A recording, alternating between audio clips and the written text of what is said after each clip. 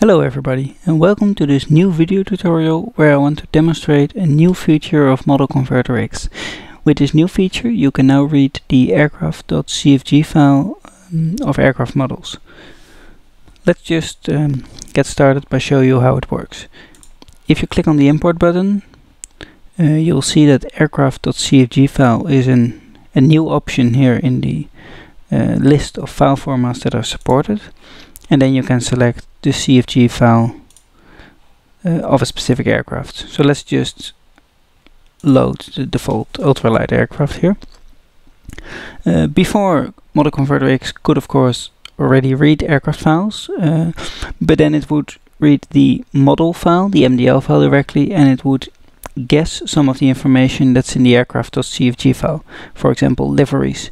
Uh, before Model Converter X had a rather crude way to just check which different texture folders existed and then those would be uh, shown as possible liveries.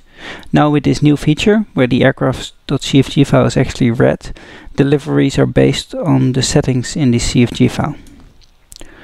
So as you can see here, uh, the model has now loaded and basically as before you'll have different textures you can liveries you can select um, based on the settings in the CFG file. And you might also have seen that multiple objects were loaded. You can switch between the exterior and the interior model as well because they are both loaded from the CFG file. So this is the interior model with the virtual cockpit. You can see it also in the name has interior in the name and you can go to the exterior model as well. Um, so compared to before you should get more accurate liveries now and it should be easier to load everything from an aircraft. But there's another new feature like a kind of bonus. Uh, the aircraft.cfg file can also define certain points like lights or uh, contact points or uh, those kind of stuff. Model Converter X can now also read and show those. So if you press the icon here with the aircraft on it, then you'll get uh, points sh shown from the aircraft.cfg file. And that way you can sort of visually inspect if they're okay or not.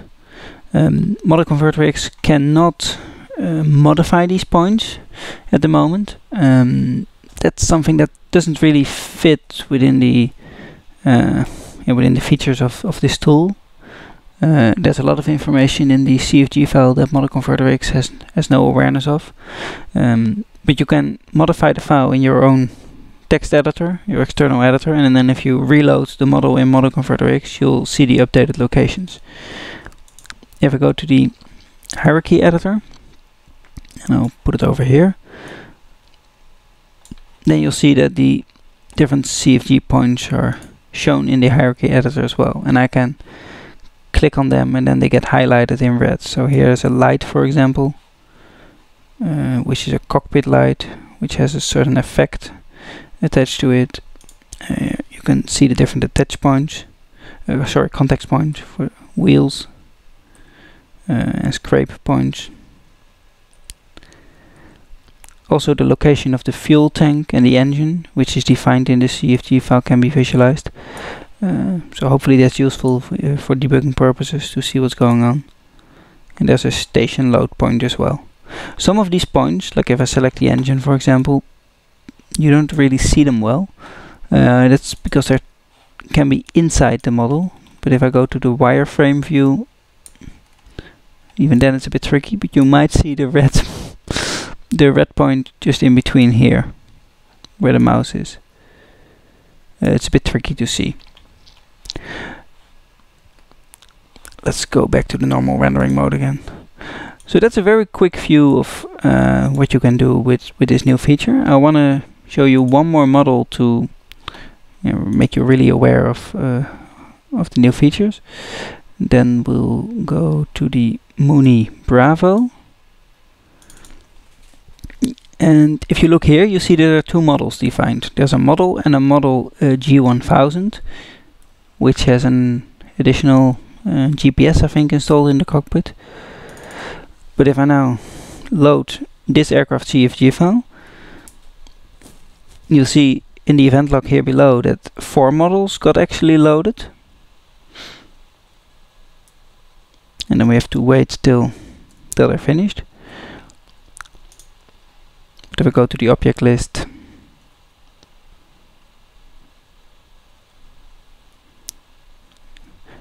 you'll see there are multiple entries now for the interior and the exterior model. And you see this one, which is the G1000 one, which you can't see in the name unfortunately. Has only one livery, the G1000. And the other exterior model It's a little bit slow here because I'm running on battery while recording this uh, this tutorial. Has more liveries to choose from. So there you can see that different liveries have been assigned to different models and before you could select every model uh, every livery on every possible model in Model Converter X but now it works as it should. Um, maybe one more thing that's interesting to have a look at. Um, if I go to airplanes and I, for example, pick the MD-83, which is an AI aircraft, but uh, the concept also applies to uh, to other aircraft, of course. Then another type of uh, point that you can see is the exit. And in this long list, you can search with the search box as, as as was already possible. Uh, but you can also search for names of, of the CFG points. So if I type exit, I get the CFG exit, which is located over here, which is where the door is. And this is the point that's actually used by the uh, inverse kinematic jetway to find the door of your aircraft. So I hope uh, this new feature is useful. I think it's mainly useful for people who are making uh, repaints or uh, creating aircraft. If there are any uh, suggestions on how to make it even more useful or if you find any bugs, uh, please post them on the forum and I hope you enjoy this new feature.